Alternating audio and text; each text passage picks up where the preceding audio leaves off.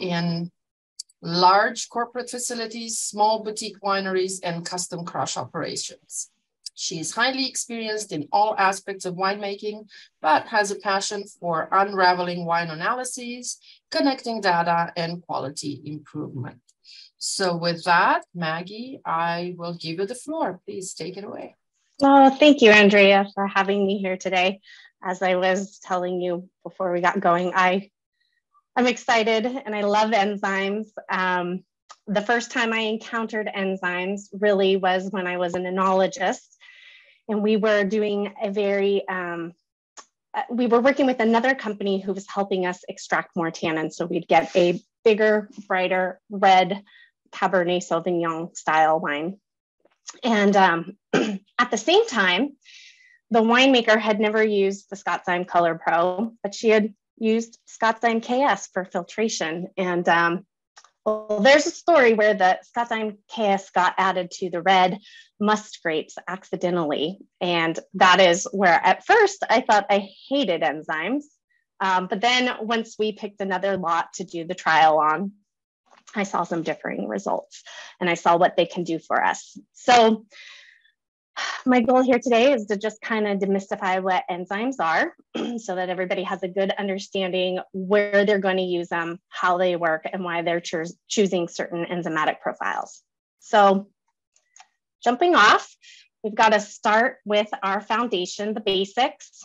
So we'll start there, and then we will go ahead and jump into pectin structure and enzyme activities, enzyme and juice and wine, and uh, hopefully by the end of this, you'll all have a better idea about enzymes. So the basics. What are enzymes? What is pectins? Why we like enzymes and what can they do for us? Where do our pectinase enzymes come from? I'm starting with this because there tends to be kind of a, a fearful idea about enzymes. And I wanna let you guys know they're, they're nothing to be scared of. So enzymes basically are proteins. I underline the word proteins because this is very important fact about enzymes. This will come into play in your order of operations. Just understanding that they're proteins will help you make some very important decisions as to um, the order of operations when you add them. Um, they act as a biological catalyst by accelerating chemical reactions.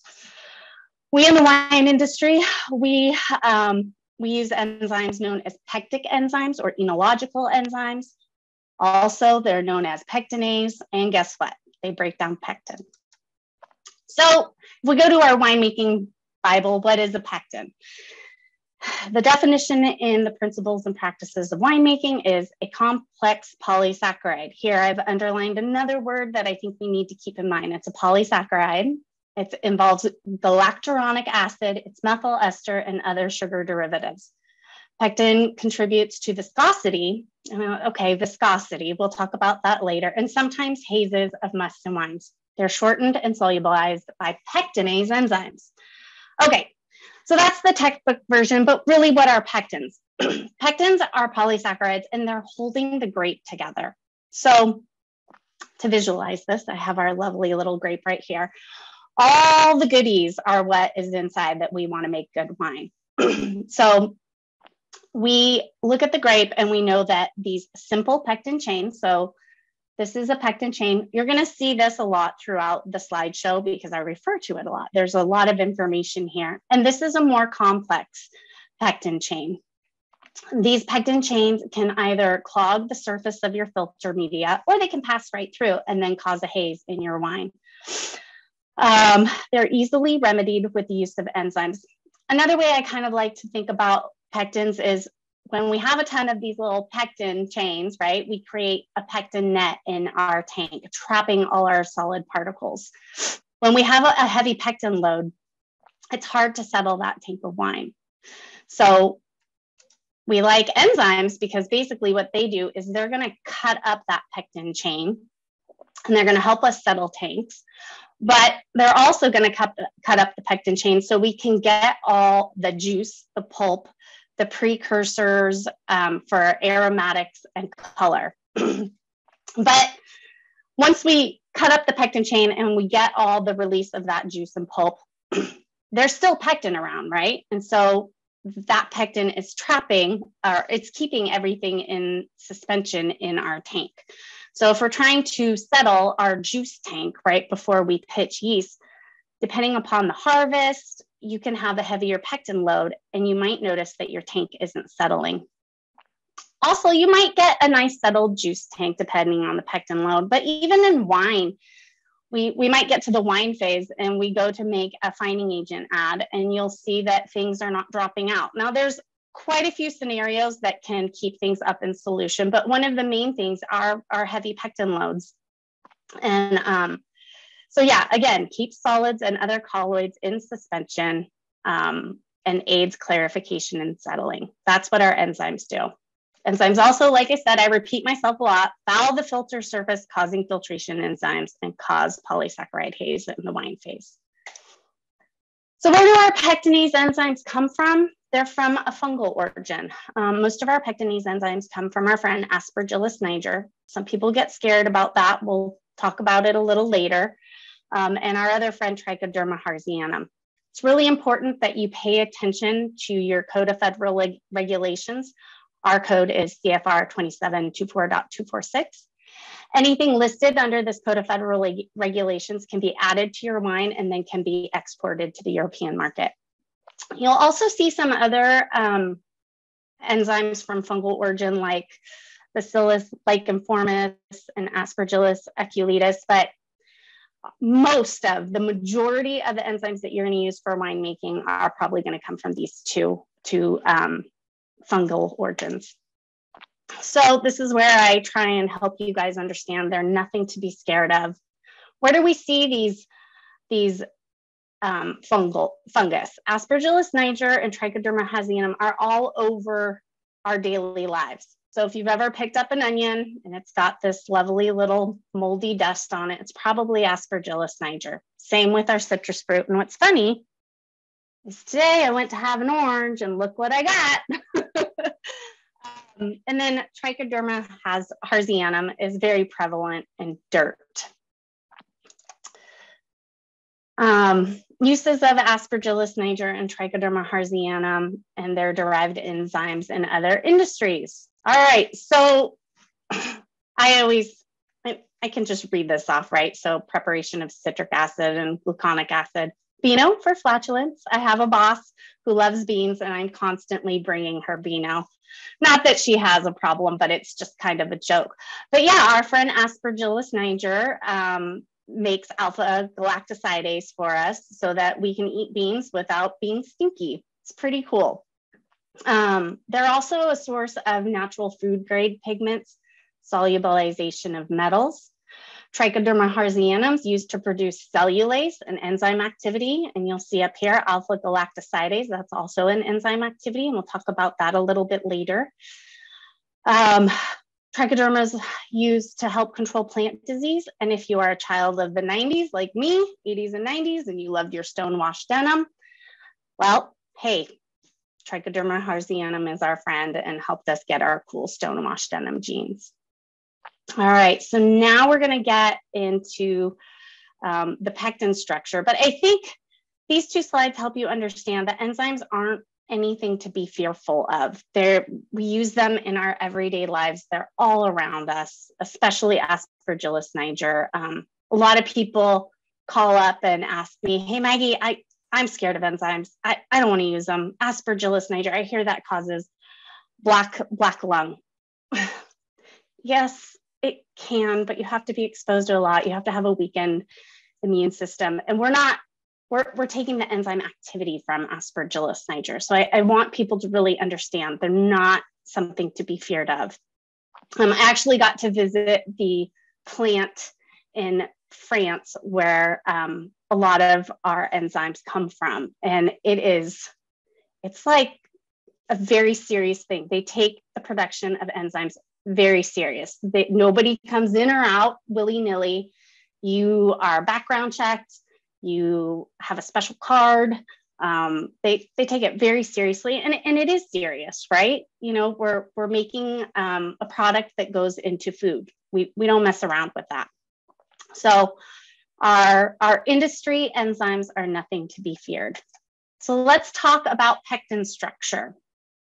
Um, to do that, we kind of need to know pectin and enzyme nomenclature. We're going to do a reminder of what is trapping the juice, um, pectin, obviously, but I, I kind of restate these ideas again and again. I, I beat them into your head. then we're going to look at that same um, diagram that we looked at before, a basic pectin chain versus um, a more complex pectin chain with side chain activities, and then the activities needed to cut the, the chain. So let's move on. Pectic enzyme nomenclature, it's really easy. Enzyme activity, pectinase works on pectin. Cellulase works on cellulose. Polygalacturonase, what a mouthful, works on homogalacturonan. Arabinase works on arabin. All right, so where do we see these cool things? This is a cross section of a grape. And right down here is the pulp. From the pulp, we typically get what we call our simple pectin chain. It's a homogalacturonan. So guess what? We're using polygalacturonase. That's one of the enzyme activities that we're using to break up this chain. We're using pectin methylesterase and pectin lyase. And over here, this little orange dot right here, oh, you guys can't see it. I'm, I'm poking on my screen instead of the screen you guys are looking at. But this little orange dot right here is a rhamnogalacturonan. Um, and then it's cut off by rhamnogalacturonase. So just know that if you are dealing with simple pectin chains, you need an enzyme with these activities. As we get closer to the skin, we start to see more complex pectin chains with what we call these hairy side regions. And your, your typical pectinase enzymes, pectin lyase, pectin methylase, they're not going to break these hairy structures off. Um, so just know you're going to think about there's there's two places we use enzymes, right? We use it in juice at the grape to macerate and get the goodies out, and then you're going to use it later if necessary in the wine phase for different reasons, and we'll get into that later. but no, if you have a warmer than usual year, it might be that even if you don't use harvest enzymes, it might be that you're getting more of these hairier regions and you're having a hard time settling because you've got your simple pectin chain and your more complex pectin chain creating your pectin net net in your tank. So you're going to have to think about the harvest, what you're trying to get out of the enzyme, what activity you need, like I said, hotter, longer harvests seem to produce more difficult, complex pectin chains to break down. We had a very hot harvest last year. And I mean, I live in Petaluma, California. So we're right on the coast. I moved back to my hometown because we get a nice fog influence every evening. Well, this year, for the first time that I can remember in 45 years, um, it was 115 in Petaluma. We typically don't get hotter than 102, 106. I've lived here my whole life. And this harvest all around Sonoma and Napa County, there were just a lot of different issues that came up with all the heat spikes. And settling was one of them for more than just pectin issues, but that was definitely one of the issues. All right, I'm kind of rambling, so we're going to move on. So let's look at enzyme activity um, and what what these enzymes work on. So this is just kind of to show you another view. So here we have our simple pectin chain. Your simple pectin chain is going to need these typical simple pectinase activities. We use this in settling and clarification. If we end up using something in the pre-fermentive step for pressing or extraction and maceration, we're going to need some cellulase and hemicellulase activities, right? We want to get through those skins or get up under the skins, right? So let's look at our um, Sauvignon Blanc. A lot of people like to use a press enzyme when they go to, to make Sauv Blanc because it helps them get under those skins and break the skins and get more juice and get those aromatic precursors. In red, very simple, easy reason we like enzymes is to get more color.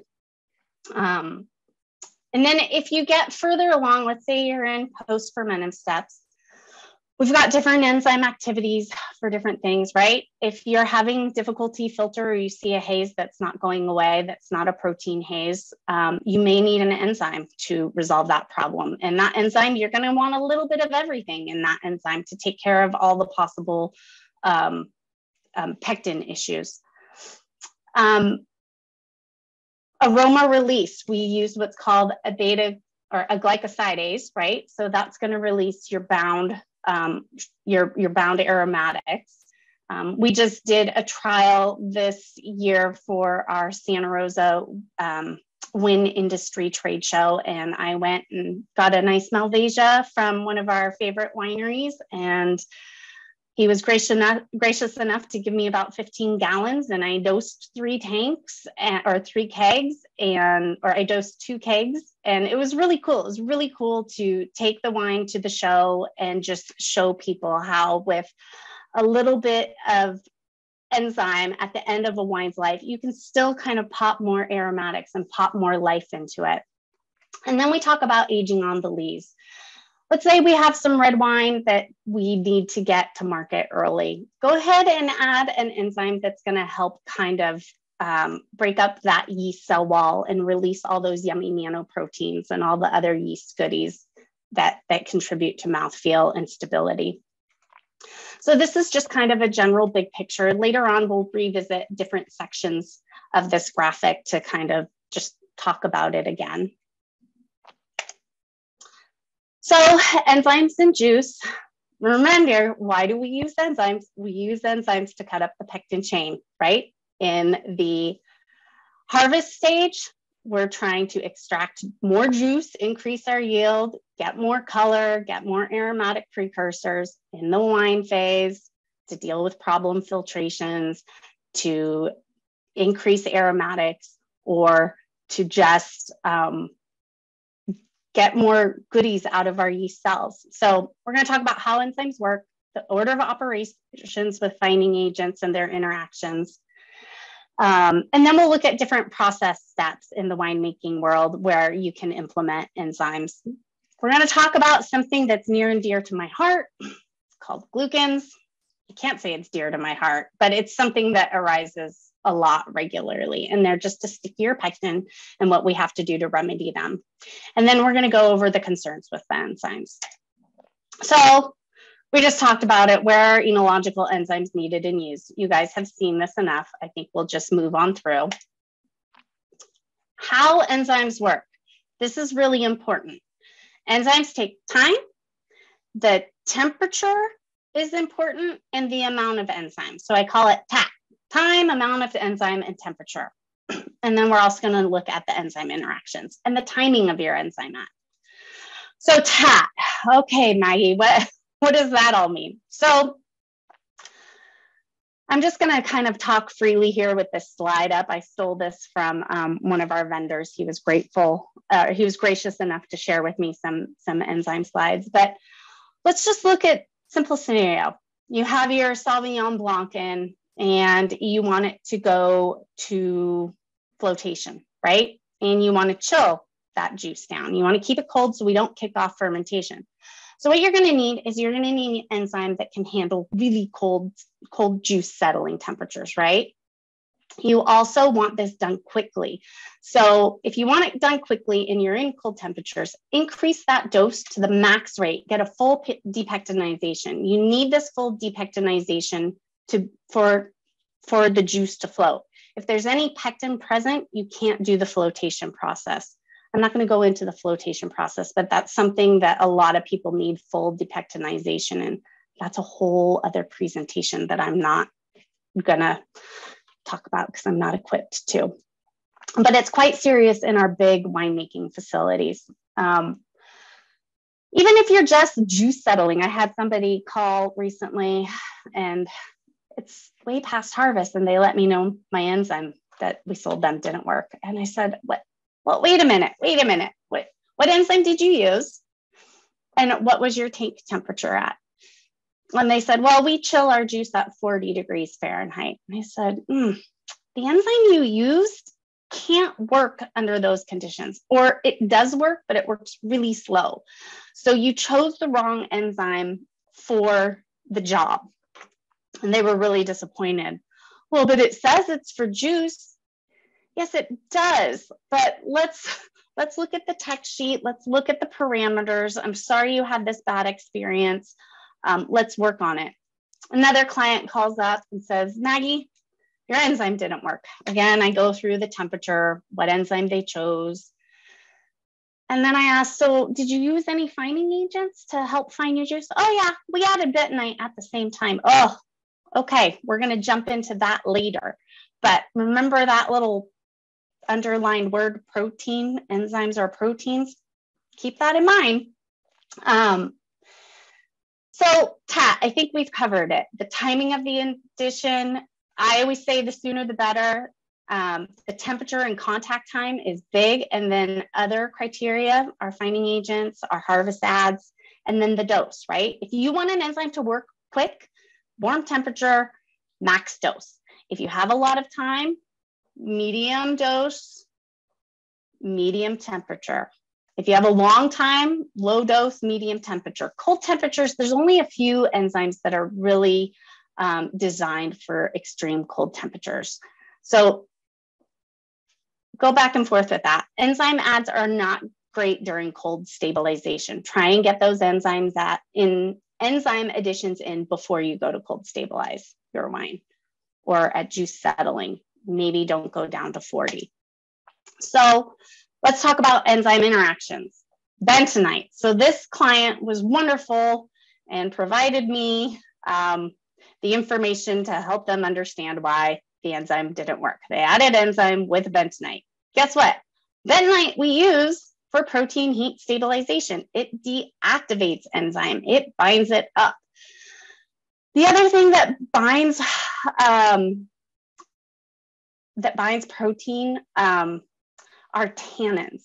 But there's some wiggle room on this, and I am not equipped to speak highly on tannins, but there's this sacrificial tannin theory. And so we use tannins in harvest to bind up proteins in the juice. So I think the main thing is don't add your enzymes when you're if you're doing a, a tannin ad, right? Not at the same exact time. Just space them out.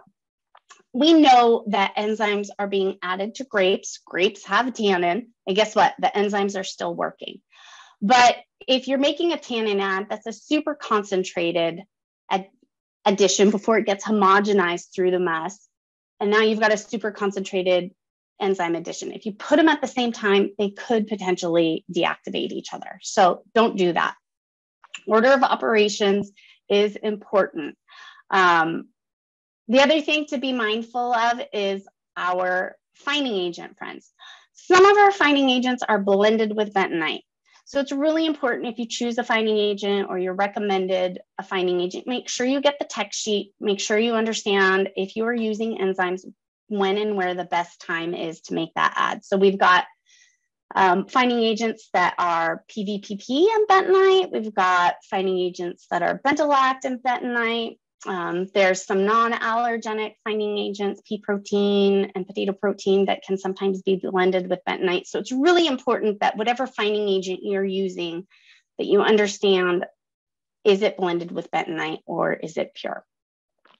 Um, let's move on. So my mantra to everybody is always enzymes first. Um, first of all, if you're using them before a fining agent, your fining agent's going to be more effective, right? So you're trying to reduce viscosity, you're trying to reduce stickiness. If the fining agent has to fight through all that turbidity to find its target, it you have to use more fining agent. Um, also, and this is an example. So this is a wine. It's a pear cider that a client sent to me back in 2012, and they wanted me to find with isinglass because they were told that it was a good idea. And, and I knew right away that isinglass wasn't going to cut it. That's isinglass can't deal with this type of um, turbidity. It's not what it's meant for or designed for.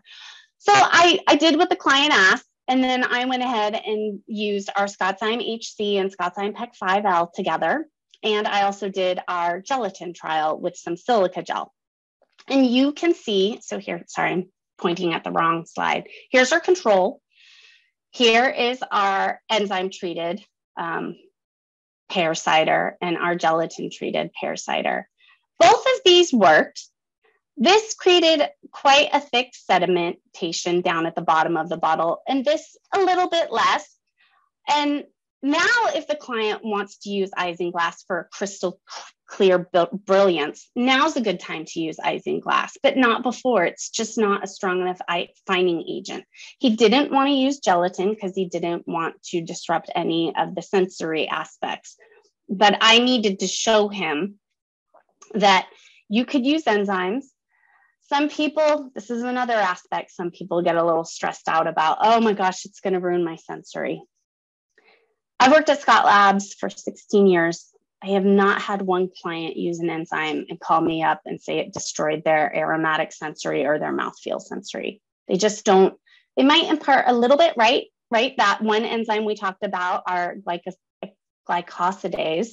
Um, yes, that does disrupt the sensory, but it pushes it in a more favorable direction. And you can actually dial that impact up or down based on dose and time and when you stop that enzymatic reaction with guess what? Bentonite right? So if you want to stop an enzyme activity just go ahead and add a little bentonite to your blend so back to the slide. I think this perfectly illustrates this is a case for enzymes. If we want to go in and use isinglass later that's perfect oftentimes Enzyme ads are a lot easier than making up your fining agent, and they do just as good a job. And you may not need that fining agent.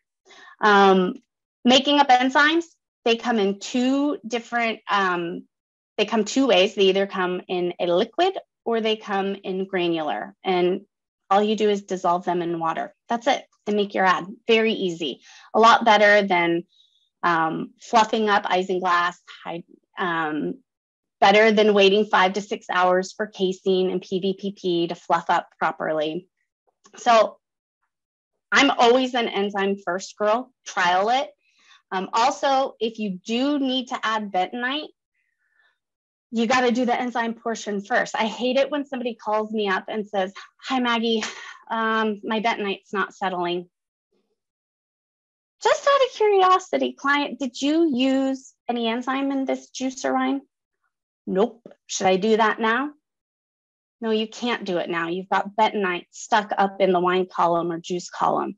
So this is the primary reason I'm an enzyme first girl. You can't do some of the other fining agents. If, if they're not settling, they're not settling.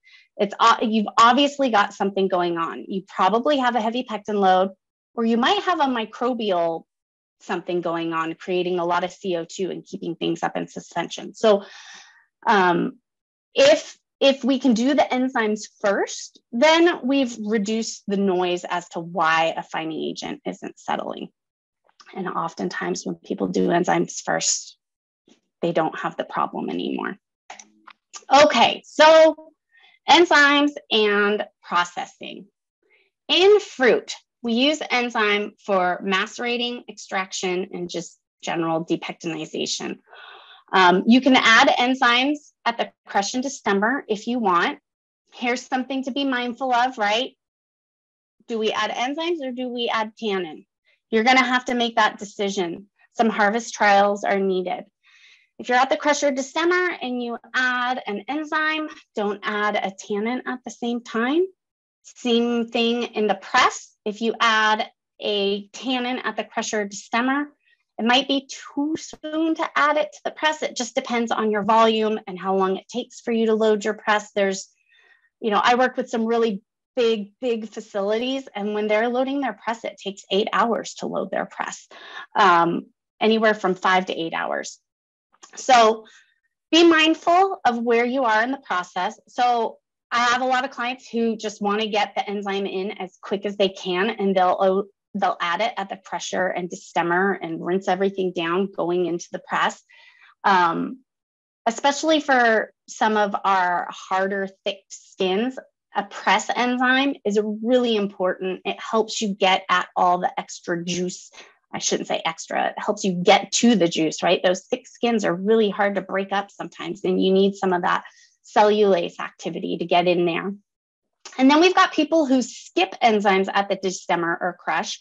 They go crush and they press and they go right into their their tank with either skins or not skins. This is another time you can add an enzyme.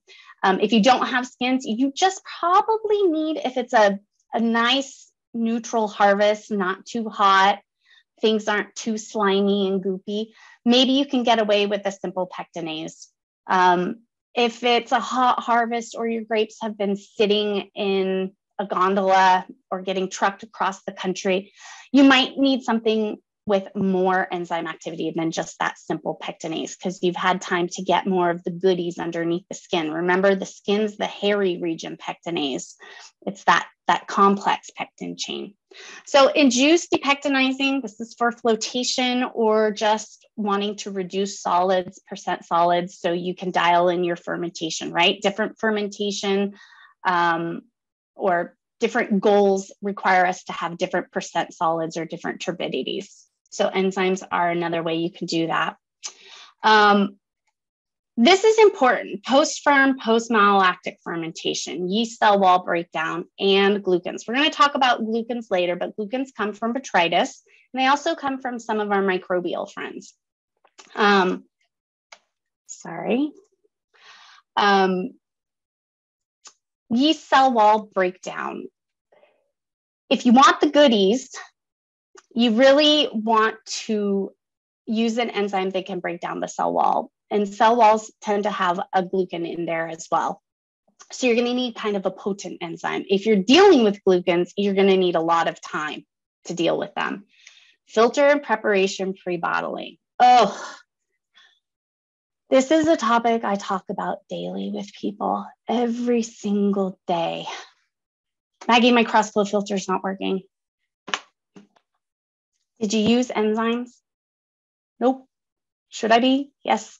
You guys have to realize there are different types of filtration, right? So we've got our pressure leaf filtration where we build a cake with DE and perlite and cellulose fiber.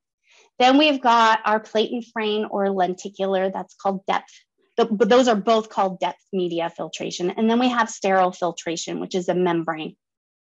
Cross-flow filtration is a marriage of both. Um, and that's something we can talk about later. But if you have any microbial, high microbial blooms, anything sticky like pectins or glucans, you're not going to go through your cross-flow. Um, pectins and glucans are not going to go through a sterile membrane. You can filter with depth filtration, pectins and glucans, um, but it's difficult. And oftentimes you're, if, if it's a pad filtration or a lenticular filtration, you're just switching out the media. If it's pressure leaf filtration, DE Velo filtration, you're just constantly building a cake because those pectins and glucans are coating the surface of your filter media.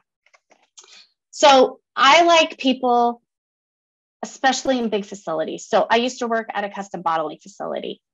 I wish I had known now what I I I wish I'd known then what I know now. I can't tell you how many times we, and this was 20 years ago, we we got to day of bottling, we got through our Velo DE filtration, and then we get to the day of bottling, and boom, we're stuck.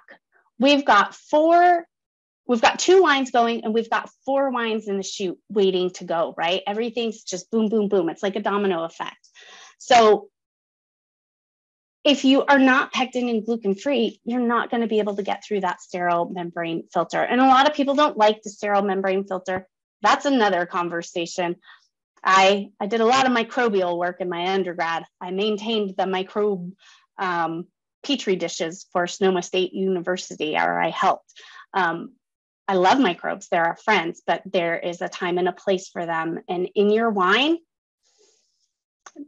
in a bottle, not the best time. Our friends Zygosaccharomyces, um, they make explosions out of bottles, and our friend Brettanomyces, they can give off lovely aromatics, but they can also destroy your wine. And microbe populations increase and decline. So in your bottle, you might have that happening.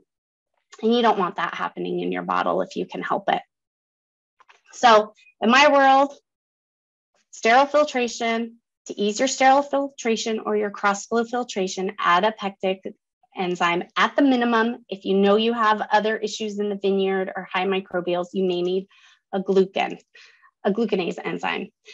Um, so we kind of have already gone through this, but I wanted you guys a, a quick reminder, right? If you're just settling juice, you need some simple enzyme. If you want to really clarify your juice, you need your simple enzyme activities and some side chain activities.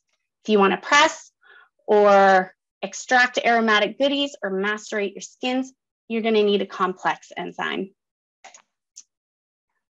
Um, improving filterability, I've already rambled on about that. Um, so again, a more complex um, enzyme. And that's going to lead us into our glucan talk. Glucans, a stickier polysaccharide. So interesting. Um, if you have grapes with botrytis and you try to filter that, that wine made from those grapes, here's a picture of our clean PES, our polyether sulfone sterile membrane. And here is our polyether sulfone membrane fouled with glucan from botrytis. Nothing's going to get through that, right? You just coated it. Where else do glucans come from? Well, over here, if you can see my cursor, our little friend Pediococcus, here it is again, kicks out glucan. So last year I had three red wines come in that were giving um, the winemakers difficulties cross flowing. So I said, All right, how was the fruit? Well, two of the red wine makers said, Ah, so this was a winemaker in Washington and a winemaker in California, totally separate companies. We purchased this red wine off the bulk market. Okay, so we don't know the back history. We only know what we got. We don't know if that was a botrytis fruit issue. Um, the other red winemaker in California, oh, we've had this wine from beginning to end. Okay, great. So I asked the winemakers, can you guys get scorpions on them? Lo and behold, all three came back with pediococcus. Two of them came out with really high pediococcus um, levels. And one of them was just low. So the winemaker said, Oh, it's not a pediococcus issue. And I said, Well, you can't say that. We took a scorpion right now. We took a genetic test right now, and that is a snapshot of what the wine is right now.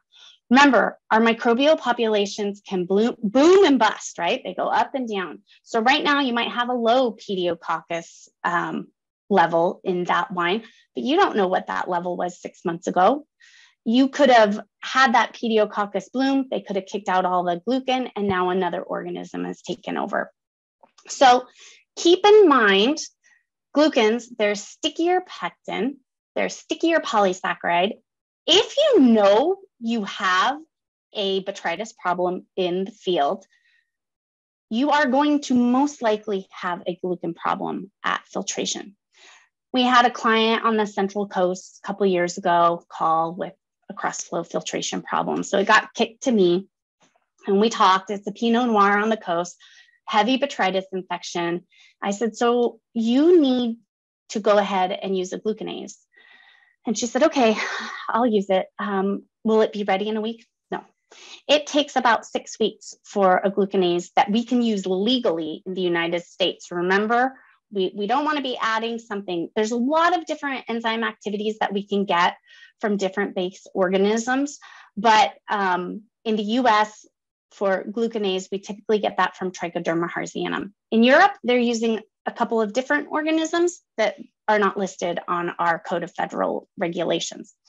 Um, so if you're using a glucanase from Trichoderma harzianum, it's going to take about six to eight weeks, sometimes 10 weeks, depending upon the level of glucan issue to work. So this client called me back. Well, I spoke to one of your competitors and they told me their glucanase works in two to three weeks. Yes, ours does too on the yeast cell wall. We're not using our glucanase for that issue. We're using it to deal with glucan from botrytis. That's a that's a more potent issue and it takes more time to deal with. So be mindful of that when you have somebody tell you, oh, it works in three weeks. What is it working on? right? What is your glucanase working on and what do you need it to work on? Are you using it to break down cell wall or are you using it to break down glucan from botrytis infection or pediococcus? Um, a good time, this, this Central Coast winemaker, they now have implemented using our glucanase um, at the end of every malolactic fermentation. So this is where a good time to use a glucanase is at the end of malolactic fermentation on red. If you have a glucan problem in white and it's a white that's not going through malolactic fermentation, go ahead and use it at the end of primary fermentation. Um, you can stop it at any time with bentonite. If it's a white that's going through malolactic fermentation, I would use it at the end. You could technically use it before malolactic fermentation, but I'm a one process at a time girl. I don't want to have a question. Did that enzyme interrupt my malic fermentation? It probably didn't, but let's just keep them separate. That you know, we've got time to bottle. We've got six weeks, right? We've got six weeks, we've got 12 months, we've got 18 months, depending upon the varietal. So be mindful of when you might use a glucanase in your winemaking process and what varietal you're using. And then lastly, um, enzymes for aromatic release are glycosidase, not a glucanase, a glycosidase. Remember releasing our bound terpene aromatics, Malvasia, some Sauv some Viogniers. Um, they do great with this enzyme. It's super fun to bring a tired white wine back to life. Um, our friends um, at brands have done some work and they're even using these um, glycosidases in Syrah. Um, so that's really exciting. So you can use them in the in a red wine too. Remember, trials are needed. Um, it's it's very important not just to add it to your tank and go right. Once we add something to our tank of wine, we can't take it out easily. We can halt it with bentonite, um, but that's a lot of work in the cellar. So things to keep in mind. One point I haven't made yet is enzymes in our industry are not pure. Pure purity is hard to select for. Um, the base organism actually matters. I didn't really understand this till I spent a week with one of our enzyme reps from across the pond, and he explained it to me. He said, "Maggie, remember our yeast strains? We all are using Saccharomyces cerevisiae, um, but our friend D254 for making cab kicks out a lot of yummy glycerol for mouthfeel. But let's say we take something like BM4x4. That's also used on red wine, but you're not going to get the same sensory profile that you do from something like D254. So even though we're both using Saccharomyces, they have different attributes. And that's the same with our base organism strains for making enzymes. Um, one point that I I really didn't consider um, was it's important to work with a manufacturer that owns its base organism and has control all the way through the process. Um, and, and, so that's something to be mindful of. I, I hate to say it, but it's true. Price is kind of indicative of the quality of enzyme you're going to get if you just need something that's cheap and you just need a simple pectin- depectinization, maybe you're okay going the cheaper route. But it's it's an industry, right? There's movers and shakers. And I really like being associated with companies that have control over their base organism from beginning to end and that can create enzymes made for our market. Remember, enzymes have multiple side activities these side activities help us utilize what enzymes we want for specific purposes, just like all those graphics that we looked at before. Um, you know, enzymes for harvest, enzymes for wine, and right before filtration. Ah, yes, concerns with enzymes of the past and now. So I've got, I think, what I think is a cuneiform tablet from my art history days. I I liked biology and I liked art history, go figure. And now we've got our tablet today. So in the past, enzymes were taken from the juice industry. And um, they were not made for wine chemistry. So they did some negative things. we had some cinnamolesterase um, activity that created some vinyl phenol off aromatics and anthocyanase that created some loss of color in red wine. We don't have those issues anymore. Most distributors and manufacturers that are selling to the wine industry are going to make an enzyme to deal with wine chemistry. So remember, I did say there's no such thing as a perfectly pure enzyme. There might be one exception, and that has to do with keeving in the cider world, but we're not talking about that today. In general, pectinases used in the wine industry are not pure.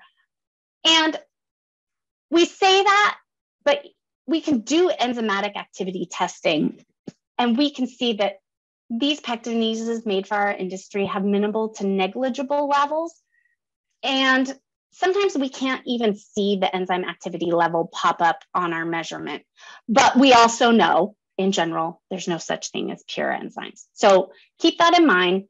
Um, not to be fearful of it. Like I said, I have never had anybody call me up after using any of our enzymes and tell me they've had a negative issue. Usually, if they have had a negative issue, there's some other contributing factor. Um, so I think we've covered that. Let's just go through quickly enzyme benefit and process summary. So in fruit, remember I'm beating it into your head. In fruit, we want to extract juice, color, and aromatic precursors. We want to increase our yield. We're using enzymes to chop up that pectin chain to allow us to get to all the goodies in the grape.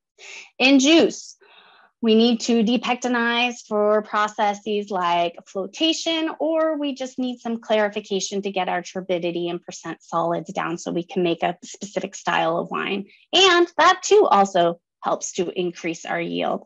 In wine, we use enzymes to enhance sensory, for clarification, to make fining and filtration easier. Um, they really can be a good benefit in winemaking if we understand what enzyme we're using, how to use it properly, and what our winemaking goals are. So this is another graphic beating it into your head. Remember, enzymes improve filtration. If you want to improve your fining agent, right, and improve its target, get rid of the gunk, that also improves filtration. Here's our pectin net. Can't do much to reduce our solid load or our solid particles with a pectin net. We can dissolve that pectin net with our enzymes, we can drop a solid, then we can add our fining agent. Our fining agent can actually attack its target, flocculate down and sediment to the bottom of the tank. It's a really, really simple idea. Um, and it's just easy for me to talk about now because I've seen it again and again and again in the lab, and I've heard success story after success story with my clients. So, you know, it's it's a cool tool, and I think um, enzymes are often they're just misunderstood and overlooked. Remember to be proactive. Don't wait till you get to filtration and you have a problem. Don't wait till you've added the bentonite and it's not settling out do some work up front to make your life easier downstream.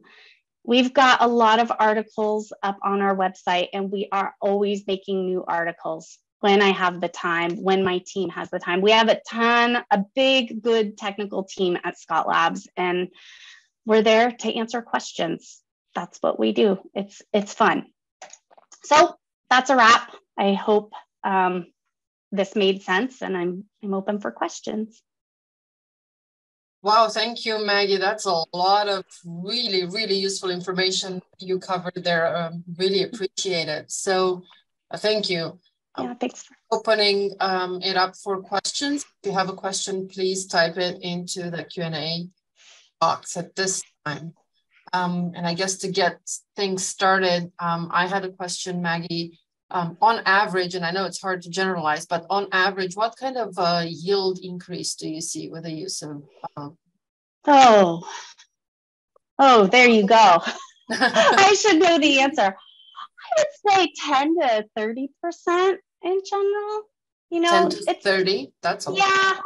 Yeah, it's a lot. I would say at least 10. I, it's hard to say, but I would say at least 10 and it depends on the grape it depends on process it depends uh, you know but if you can get more pulp you get more juice out of the grape to begin with i think some people are leaving um, money on the table if they just crush and press especially mm-hmm. some of those hard skinned grapes. I know Texas has some, and I know the East Coast do. And just hearing back from clients, they've definitely increased yield. But the percent, I I'll get back to you on that for sure. I will. Something that, yeah, yeah, I was curious about. And we have a question that I was going to ask as well. From uh-huh. you recommend using multiple enzymes together? No. Well, ugh. so remember our enzymes are not pure. So if you are getting an enzyme with those side chain activities, you're probably getting some of the good basic enzyme activity. So really there's no reason to use multiple enzymes. There are some, so there are some situations. Uh, so we had a big valley producer using their Sauv Blanc and press. Um, and they were adding a press enzyme. And so they did actually use a press enzyme. And then they got to their settling tank and they just really needed a quick depectinization. They didn't have the time to wait. So they did actually end up adding a, a strong depectinizing enzyme. So they, they had the enzyme that helped them get more goodies from the grape. And then because they wanted something to settle extremely fast, they did add another pectinase on top of it, one that's basically for juice settling. So in some scenarios, I also had another huge facility used that same press enzyme and they were using half the dose rate and getting settling in the time that they needed in just using the press enzyme and not using a settling enzyme. So it really depends on the grape. It depends on how what your processes are downstream and what level of depectinization you're looking for. Generally, I would say no. The one thing I would be mindful of don't use a filtration enzyme at harvest, right? That that is a mistake people have made because those are very potent and um, you'll get mush. And then you have to go to your feed store and buy rice hulls so you have something to press against. Huh. That's that's interesting. I, I have done it. All right, next question. Which form of enzyme has longer expiry? Powder ah. liquid? Right. So liquid typically has the shorter expiry, and you should always keep all your enzymes refrigerated if you can. That, ex- that keeps their expiry. And then granular. So some of the liquid enzymes that we sell have typically a three year expiry, and the granular has about a four year expiry from the date of production. So just pay attention to your expiry dates on your enzyme packaging. The next question from Matt, are there interactions, deactivations of enzyme from SO2 and or alcohol?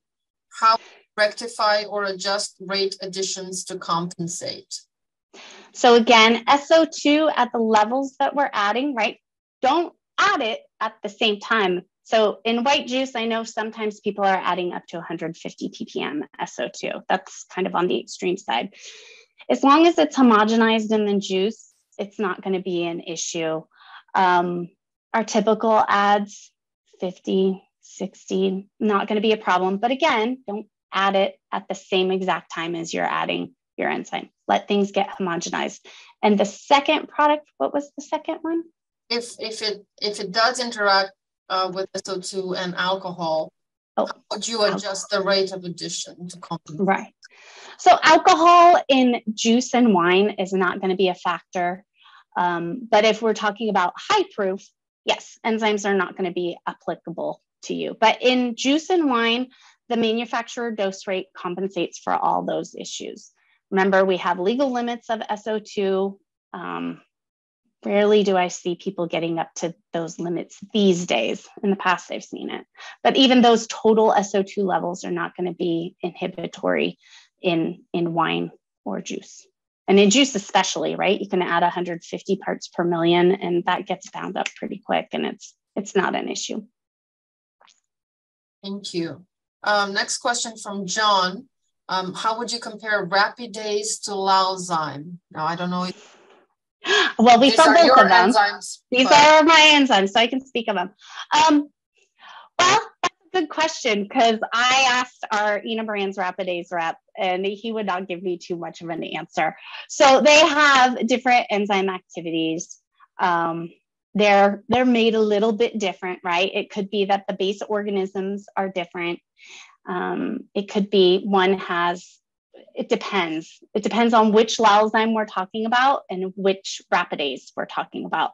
But we sell both of them, and I've trialed both of them in the lab, and I it, it depends. So we we try and choose certain rapidase enzymes to fill the portfolio, right? And Lallzyme enzymes to fill our portfolio. So we have some red macerating enzymes from Lallzyme, and we have our glucanase from Lallzyme. From Rapidase, we have a lot of our strong press and depectinizing enzymes, and then we also sell our Scottzymes, right?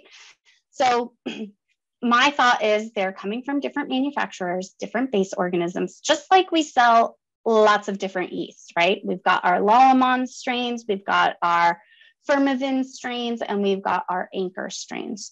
So the base organism matters.